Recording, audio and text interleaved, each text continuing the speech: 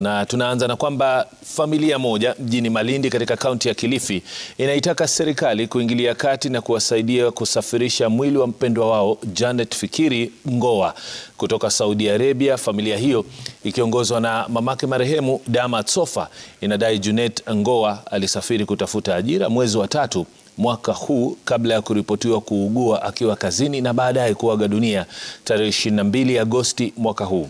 Familia yake ilipata habari za kuaga kwake kupitia barua iliyoandikwa na mawakala waliomsaidia kusafiri hadi Saudi Arabia. Sasa wanaitaka serikali kuwasaidia kurejesha mwili wake. Eh, kilio cha familia hiyo kinajiri huku familia zingine tatu zikipiga kambi katika uwanja wa ndege wa Malindi kusubiri miili ya jamaa zao.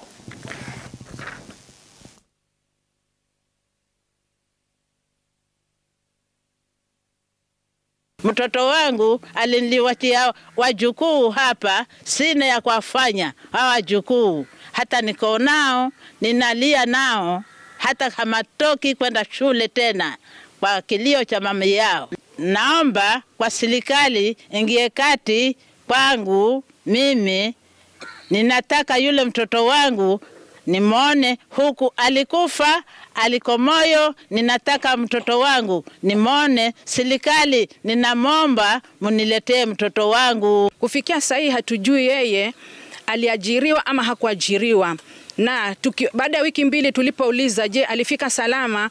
Jibu tuliloambiwa yeye alipatwa na wenda wazimu, na alipotoka hupo alikuwa hana wenda wazimu wala hakugua ugonjwa wowote. Tena akapiga simu tena, agent akasema kwamba basi dada yetu amefariki. ndio dada yetu amefariki, sasa tutampata vipi? Hakuna mwelekeo wowote tangu wakati huo mpaka sahii. Dadangu utamwona kwa picha vile alivyo, sijui ni mzima, sijui amekufa, sijui iko vipi.